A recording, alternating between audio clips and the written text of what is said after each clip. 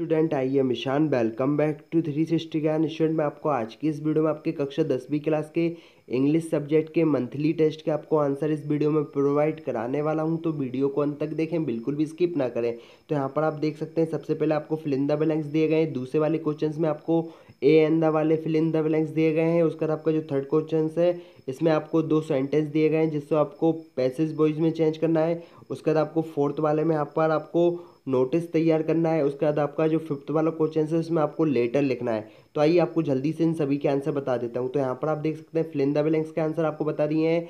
आपके question number एक वाले तो आपको इस तरीके से पहले में सम बनना है, दूसरे में एन बनना है, तीसरे में आपको सम फोर्थ वाले में आपको मैनी बनना है और फिफ्थ वाले में भी आपको मैनी बनना है। तो आपको इस तरीके से आंसर आपके जो क्वेश्चन नंबर एक के फिलिंदा ब्लैंक्स है, उनमें भर देना है। उसके बाद आपका आता है दूसरा वाला, ए एन द वाले तो आपको पहले में एन बनना है, दूसरे वाले में आपको बी वाले में द बनना है, सी वाले में एन बनना है, और आपका जो डी वाला है, जिसके पहले वाले फिलिंदा ब्लैंक्स में आपको ए बनना है और दूसरे वाले में आपको द भर देना है।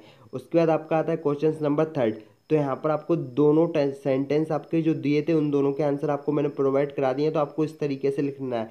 आप चाहे तो वीडियो को पोस्ट करके इसका स्क्रीनशॉट भी ले सकते हैं। अब हम चलते हैं आपके अगले क्वेश्चन आने क्वेश्चन नंबर फोर जिसमें आपको यहाँ पर एक नोटिस तैयार करना है। यहाँ पर आप देख लीजिए, आपको इस तरीके से एक सेंटर में आपको लिखना है government boys school Bhopal, Madhya Pradesh. यहाँ पर आपको एक तरफ़ डेट डालना है, उसके बाद आपको बीच में नोटिस लिखना है, उसके बाद आपको इस तरीके से इसको लिखना है सेंटेंस बीच में, उसके बाद यहाँ पर आपको इतना लिख देना है।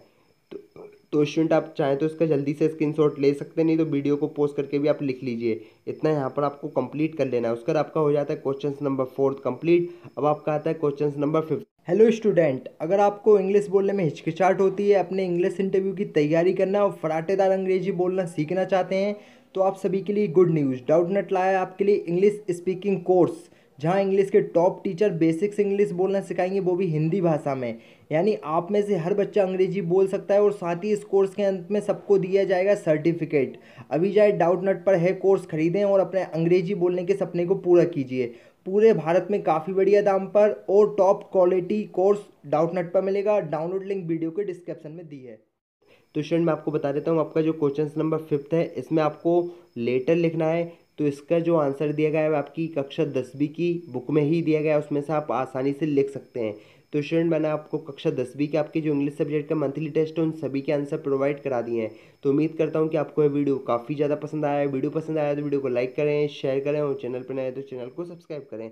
जय हिंद, जय भारत।